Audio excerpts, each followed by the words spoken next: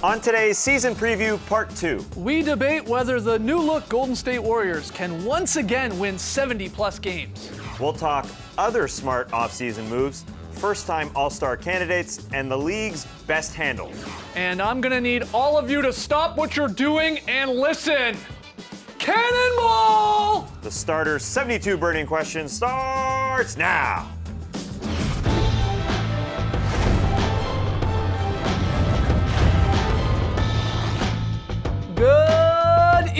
Evening, sweet world, and welcome to part two of the Starters NBA season preview. Whether you're listening to the podcast, catching us on YouTube, watching us live on NBA TV, we're happy to have you up in this. I'm Jay Skeets, and alongside me, as always, that's Tas Melas. Let's NBA up in this. To his right, it's the international man of mystery, taking it to the max. That's Leigh Ellis. Friend. Lele. And last, certainly not least, it's uh, Brad Miller's number one fan, Trey Kirby. Hey, All right. On tonight's show, we're continuing to tackle the 72 burning questions about the upcoming NBA season. If you missed part one, well, it's up on our investigation board, but we encourage you to go back and watch it on YouTube. We still have 64 questions to answer in this nine part series, so let's get to them. Mm-hmm. Our first one, we asked you to play along on Twitter, hashtag the starters with your answers. Love this one. Will the Warriors, the new look Warriors, win 70 plus games again? I say no, but it's incredible that we're talking about That this. This is a debating it. legitimate question. Will they win 70 games, the third time only in NBA history? But when you've got arguably the three best players at their positions, and Steph, KD, and Klay, and Draymond's obviously in that conversation for power forward, it's a legitimate question. But I think you can't help but think of the Miami Heat when they got back together or got together in 2010. They started nine and eight. There's going to be some road bumps. There's speed bumps to start it off. There's just there's nothing to solve it. There's no technology that solves that. Is it is it the same as that? Like, 'cause a lot of people compare it I sort mean, of to the Heatles, but those were like three guys in Bosh, LeBron Yeah. coming to Wade. You got three stars trying to figure out how to handle, like control the ball, use the ball. It's different with the Warriors, isn't it? Because you already have a 73 win team that lost a lot of pieces. Don't get me wrong here, but now you're just adding one of the top three players in the league, KD, and say, hey, go ahead and score a whole lot. I mean, Yeah, it- but to me, he's a guy different. that has the ball in his hands all the time when he was playing with the Thunder, and as we all know with the Warriors, they are the kings of if you give the ball away, you might be getting it back soon. That's going to be a huge adjustment for Kevin Durant and for the Warriors playing with Kevin Durant because he's not always working super hard off the ball when he was playing with the Thunder. So I think that's going to be an adjustment to figure out how he fits into the ball movement system they're playing and how they work with him as an isolation. player. I, I don't think they. I don't think they win 73 games or 70 plus games. I think they'll be close, but I don't think they start nine and eight like the Heatles did. No. I think it's much different team Yeah. uh, than than that squad. I think that uh, Steve Kerr, he knows how to incorporate a star like Kevin Durant. You've sort of seen it in the preseason already. Just the threat of these guys running to the perimeter makes it very, very hard to defend. But they've also talked it down, the Warriors. They're saying, we're not going for it. Last Yeah. year, it did take a lot out of us. And you can understand why they're doing that. They're downplaying it. They don't want to be a, a whole season long chasing 70 wins again, especially if they don't get the championship at the end of it. They've got guys, though, they've added Zaza Pachulia and David West, a couple of veterans who are going to make sure that they stay focused and they don't lose their concentration halfway through the season and maybe drop a few games that they should have. So I definitely think 70 is in play. It's going to be very tough for them to do it, but I think they can do it, and I think they, they might just do it. Yeah, I think it's not crazy to imagine them winning 70 games accidentally, right? They're Yeah. probably not four wins worse than last year, so I think it's definitely going to be right on the borderline of getting to 70 wins. And you know, this is a competitive team still, so when they're in games when they're within four points at the Yeah. end of the game, it's not like they're going to forget that they're professional basketball players and want to eke out that win. I think that they are still going to be favorites in games where they rest one of their big four because Yeah. they're still going to have Oh, yeah. three of the best players out on the court, and that's just a mixture for getting close, close, close to Uh, uh, 70 wins. Listen to this stat. Of the 10 previous teams to win at least 67 games uh, during the regular season, nine of them, uh, this makes sense, nine of them saw their win total decline the next season of those 10. I mean, to win 65 plus games Yeah. is a lot. 70 is a whole other level. So we're all in agreement that they don't get to that 70 No. win mark. But I want to hear a number. What do you think? I mean, borderline 70, So 68, 68, 69. It, it's so hard to Yeah, pick out. Steve, Steve Kerr's never won less than 67 games, so it's going to be it's going to be weird. Fair. What, well, you mentioned Steve Kerr, and one number that he threw out there, he said, Steph, you're not going to shoot 400 threes. You're not going to make 400 threes this He's going for season. 500. No, no, he's going to make far less because he's going to be giving the ball Yeah. up because Kevin Yeah. Durant is going to shoot a heck of a lot more than Harrison Barnes did. That's just the way it's going to be. So Steph has to make a big adjustment. I mean, he's got to look for guys, and that's where you're going to see some turnovers in the first month or two. It's just going to happen. But when they spread the perimeter, those guys, Durant and Klay Thompson and Draymond Green throw 'em in, and Steph, defenses are going to be scrambled just to try to get a hand up in their face. That ball is going to be fizzing around the perimeter so much. That's our first fizzing of the year. Very feels good. but you just, you, you, who's it going to go to? Who's going to get that open shot? It could be any one of those guys. So yeah, Steph's numbers probably will come back a little bit, but across the board, I think you're going to see all of these guys just dominate at different times. All right, well, we got a bonus question here. Again, not part of the 72, but who do you think is the Warriors' biggest threat in the West? Let's just stick to the West. We won't even talk about the Cavs, maybe out in the East if they meet in the finals again. Who's the challenge there? Who's at the top of your list? It's the Warriors. It's all up here. let's, let's just get deep. no, no, let's just get deep. no, it's all up here. Can they do it? Of course they can game. do it. Uh, yeah, I- that's who I think I legitimately is the toughest. You don't think challenge. there's really any real challenge in the West? No, not to win the West. Wow. Yeah, it's the same as the Cavs. There's one clearly best team, but for me, when you look at the second tier, the top of the second tier has to be the Clippers, mostly because of their continuity, and they have three All NBA guys who have now been together for basically this is their fourth season, if you include once Doc Rivers got there. It's a make things or really break, turn se- around. Well, make the or break season for the Clippers. Yeah, and right? Blake Griffin played however many games he played last year. I can't exactly remember off the ah. top of my head half the Yeah. games. So he's going to be well rested. He's going to have something to prove. They are going to be on fire, and they're going to be wanting people to know that they are a competitor to the Warriors, even if maybe they have their best season this year. Kind of bad timing. Something always seems to go wrong with the with the Clippers Yeah. though throughout the season, whether it's internal or a Blake, Blake Griffin injury or Chris Paul or someone like that. I think it's the Spurs for me because you just know what you're getting with the Spurs. Even though they lost Tim Duncan, who wasn't playing huge minutes last season, they replaced him with Pau Gasol, who was an All-Star last year, still playing incredible basketball. And you just know that the Spurs are going to be winning 50 games. They've won 50 games forever. Yeah. They're going to be there pushing the Warriors. And Kawhi Leonard, he wants to get back to the finals. He wants to show that he's an MVP type guy. He was runner-up last season. They've got a lot to prove still and a lot to play for. Kawhi did- got away with not having a great playoffs last year towards the end. It was quiet, Hmm. and no one really talked about it. Yeah, one of those two teams you'd have to imagine are, are going to be the teams most people are picking. And again, jump on Twitter, hashtag starters. Who do you think the biggest threat is to the Warriors in the West? I ultimately, I agree with you, Leigh. I, I go the Spurs. Uh, they're, Pau Gasol coming in for, for Tim Duncan is, Yeah. is still great. I mean, he is not Duncan defensively, but still going to easily fit into Pop's system there. You're still got to hope that Tony Parker can give you something. Ginobili, they're getting up there in age. I mean, they're older than you, I think, Leigh.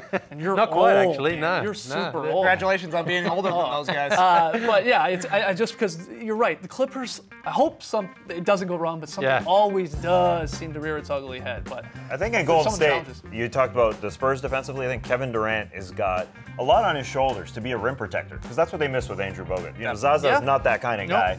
We'll get to Zaza a little later in the show. all right, nice tease, Tassie. When we come back, who has the best chance of making their first NBA All Star game? That, and I guess a little Zaza talk when we return. Yeah.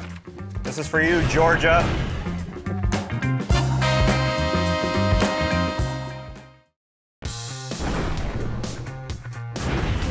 Welcome back to the Starters NBA season preview. 72 burning questions. We are up to question 10. We just talked about the Warriors and their chances at 70 plus wins.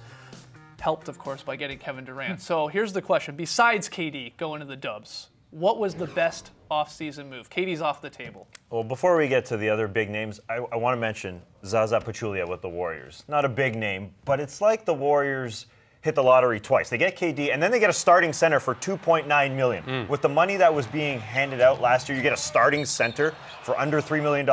That is pretty ridiculous. The guy can catch the ball and dunk, and that's what he's going to be required to do in this offense. He almost made the All Star game last year. The entire country of Georgia. Not because of his offense, though. no, but he's obviously a capable Yeah, guy. no, Sure. very. They're definitely going to miss Andrew Bogut and, and a lot of their bench guys. But Zaza Pachulia for under $3 million, that is absolutely nothing. Zach Lowe tweeted earlier when they made that deal that a lot of executives around the league were really annoyed that the Warriors Right. managed to add him as well as adding Kevin Durant because he is an incredible uh, guy to fill that position left by Andrew Bogut. A starting center. And, Yeah. and at his age, to literally almost make the All Star team, this could have been his last payday, but he said, "Hmm, all right, I'll, I'll take under to win a three. championship. All right, Trey, let's get to one of a, a bigger name, I hope, than Zaza. Yeah, somewhat bigger name, probably the second best free agent on the market this year. Al Horford going to the Celtics is my pick. And it's not just because he was the second best free agent available. He's also a perfect fit for what the Celtics are doing, really kind of the embodiment of what the Celtics play like. Offensively, he moves the ball, he can space the floor. He really plays inside and out. He's got that nice 20 footer. He's got Yep. those beautiful eyes that Tassie likes. and defensively, it's kind Sounds of the like you like them.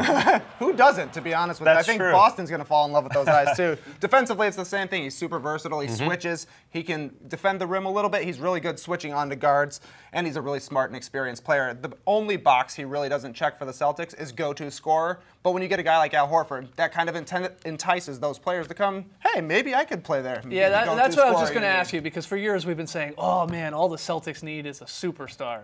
Is Al Horford a superstar?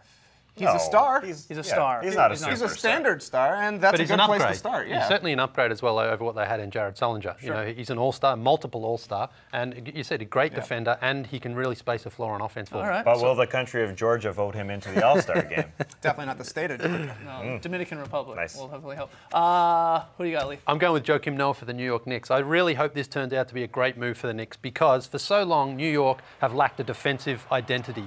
Offensively, they've been okay, but they've always been so weak defensively. Now Noah fills that gap for them.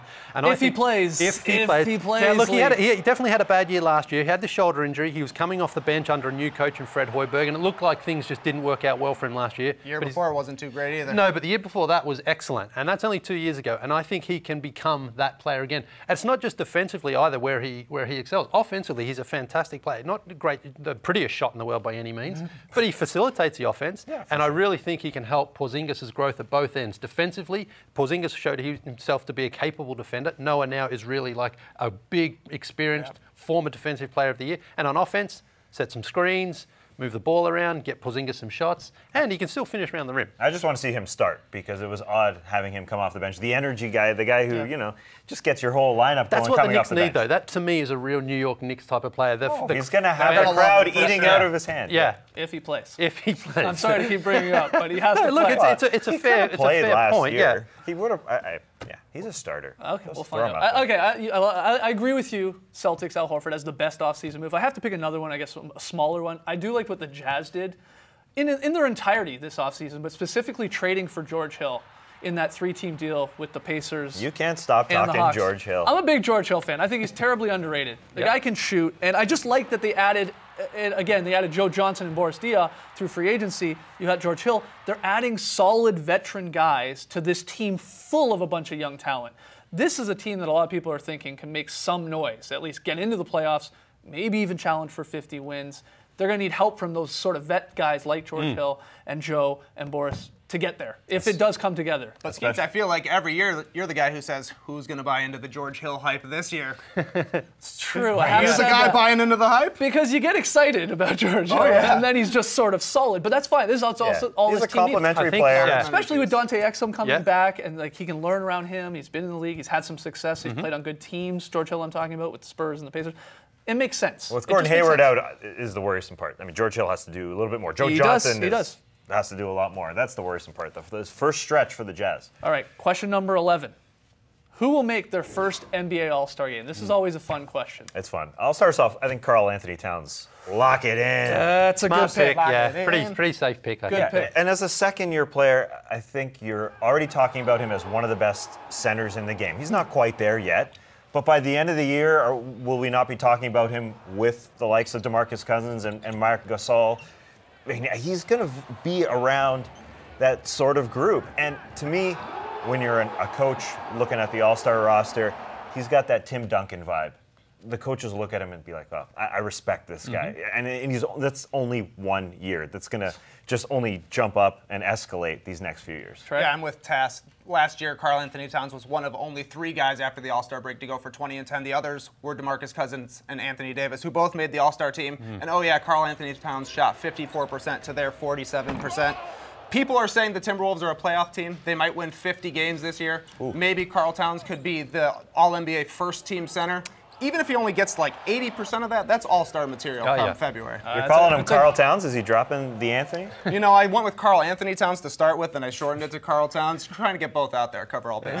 That's a, that's a good pick. Uh, you want to go with someone else here, Leigh, and make things interesting? I'm doubling down on my pick from last year, Bradley Beal from the Washington Let's keep picking him. You you love, talk you love injured I guys. do, We're I do love injury. Now listen, I understand the injury thing is a big thing with Bradley Yeah. Beal's game, But when he did play last year, especially his first 20 games and his last 10 or 12 or so, he was averaging around 20 a game, shooting the ball well and getting rebounds, assists, and doing a lot for the Wizards. They were much better on the floor when he was on the floor.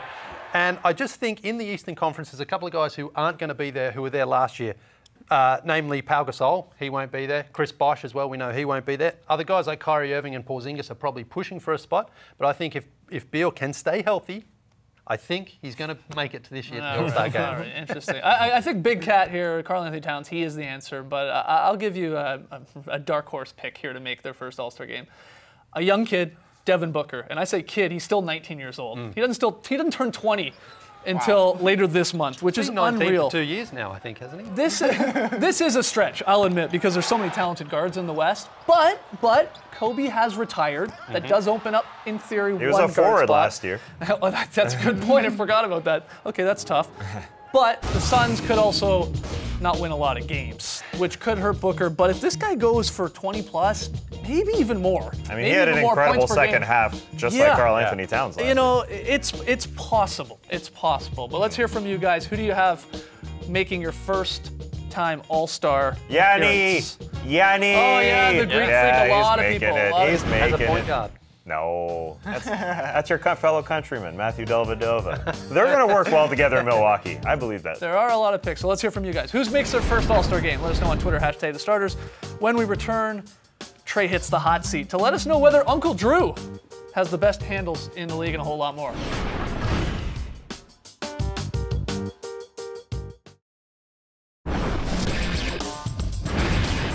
Welcome back to the Starters 72 Burning Questions NBA season preview, where it's time for Trey Kirby's Go on the Hot Seat. We have five questions for TK right there. Whew. Don't let that beard catch on fire. It's hot, Skeets. It's very hot. All right, here are your five questions, TK. First one Which phrase will we hear ad nauseum this season? Well, there has been a low-key movement burbling online for the past couple of years to replace the word posterized because nobody really buys posterized anymore. And that's why this year we're finally making the change to vined. That's right, vined. V-I-N-E-D. It's a super versatile word. If a guy gets dunked on, he got vined. You could say he got put in a vine, or you could go my personal favorite, clips it up and say, Vine vinding. We all watch clips via Vine anyways these days, so you might as well get used to hearing the word. All right, next one here. I like this question. Fun question. Which unlikely, unlikely player will join the 50 point club? Who's going to score 50 in a game this season? Well, believe it or not, you don't have to hit a ton of threes to be an unlikely member of the 50 point club. Tony Delk didn't hit any when he had 53 a million years ago. Corey Brewer only hit two when he had 51 a couple of seasons ago, but it definitely helps. So I'm going with Bojan Bogdanovich. Bojan- Of Bojan Bogdanovic of the Brooklyn Nets. He went for 38% from three last year, and we've seen him get hot before. He went for 44 against the Philadelphia 76ers last year, a career high. And if he goes for 50 this year, I think it comes against the Sixers again, April 4th in Philadelphia. The Wow. Sixers are the only team to allow two 50-point scorers last year, so crazier things could happen at the end of the season. Wow, he's giving us the date and everything. Tony Lock Delk it will be in. in the crowd, apparently. All too. right, I love it. All right, next question's perfect for you, Trey. You're all on the Vines and the Snapchats and the Twitters and all the YouTubes and all that. Who is going to be the social media MVP? Carmelo Anthony is your social media MVP for the 16-17 NBA season because the guy does it all. He's got hilarious off-court looks, which are usually a funny hat and some overly fancy outerwear. And then he's got a long list of funny plays that have made him a mainstay on the meme team and weekend whoopsies throughout the year. Yep. People just love Melo. He's a pretty funny guy. And I think it can't be ignored that we are living in a period of some serious civil unrest right now, and Melo has really been at the forefront of those issues all summer, whether it be speaking about gun violence at the ESPYs or touring the favelas in Rio when he was there for the Olympics. Melo's never shy about speaking out on social issues, and you combine those three things, he's going to have social media popping this year. All right, Melo for social media MVP. Two more questions for you on the hot seat here, Trey. I'm literally sweating over here. It's, It's hot. seriously hot in It's this seat. very, very hot over there. Uh, all right, who's got the best handles in the league? Well, we're living in a golden era of handles right now. Steph Curry, Kyrie Irving, Chris Paul, James Harden, these are all great choices. But I'm going with an elder statesman of the handles community. I'm picking Jamal Crawford. Wow. The guy is in his 17th season. He's 36 years old, and he's still pulling out moves we've never seen before. He told us he's got a whole bag of tricks to empty before he retires, which is still going to be in four years, believe it or not. But the main reason I'm picking him is because of this move, which made me feel like a high schooler again. Every time I go to the gym, I try and learn this move. It's impossible. I feel like watching an Allen Iverson commercial back in the day. It looks like I'm just dropping the ball when I try it, but the guy's a pro, so if he's making me feel like a high schooler, I gotta go with Jamal. All right, Jamal Crawford. All right, final question on the hot seat. Now, this one is actually inspired by your busy off season of jumping into pools. Super busy. Yes, it was Seaball season this summer, and that's all you did, it seemed like. Every day I was at the pool. Oh, we, oh yeah, we had the very rare, Who are these Yeah. very rare six-man cannonball. Yeah. People said it couldn't be done. but it was done. So, inspired again by all of your uh, sea balls. That was a great one. I love that one. We want to know. What's the music behind this one? Oh, look, there's your baby. Hey! Maybe it's Pavarotti. It's his birthday today. Yeah. Who is the NBA's best cannonballer? Well, Skeets, I told you yesterday, it's not all about the splash. You also got to have hops, creativity, and personality. And that's why there's no better NBA sea baller than Blake Griffin. We've seen him win a dunk contest, so you know he's got the hops and the creativity. Personality wise, he seems like the kind of guy who would like to jump in a pool. And oh, yeah, he's 250 pounds, so the splash is going to be massive no matter what. So, Blake, next summer, if you want to do some sea balls, holler at me. I'll be at the pool every single day. Next summer, don't wait till then. Yeah. Blake I Griffin, guess if you're you're right, it's watching, still send in a video season. of you doing a sea ball. It's always He lives in Seaball Cali. All right, Trey. Great stuff on the hot seat. We got to take a final break. When we return, the starters fans they decide whether the Dubs can win 70 plus games again. Come on back.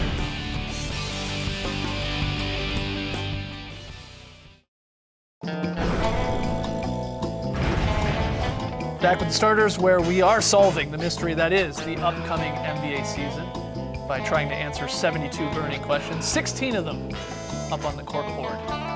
Lots Getting close. to go.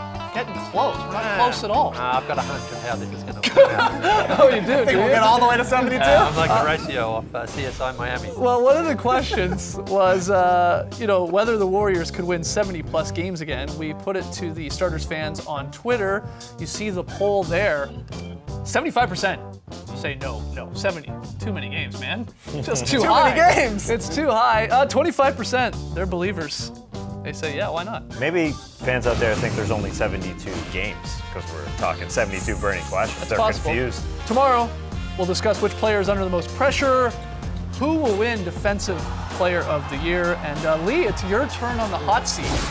And you're going to tell us which team will lead the league in very solid play. Awesome. So uh, I imagine it'll be the Spurs because you always pick the Spurs. Let's just watch that play again. That was beauty. That won it last year. Actually. You want to you want to throw your thumbs up on that? eh? Yeah, now we're Yeah. back. Now the starters are ah, back. So that's there they are. I think we had a I think we had a wedgie in a preseason game too. The starters are really getting close to being back. They don't count though, do they? In the preseason? No, we're not counting. No. I'm just saying it's a good omen. Jeez, man. It's a good omen for the upcoming Oh, great. season. when we get Huge. 50. We're getting to 50. So part three of the starters 72 burning questions tomorrow 5:30 p.m. Eastern here only on NBA TV. All right. Thanks for joining us, folks. And remember, there is security in insecurity. Brace the night, people.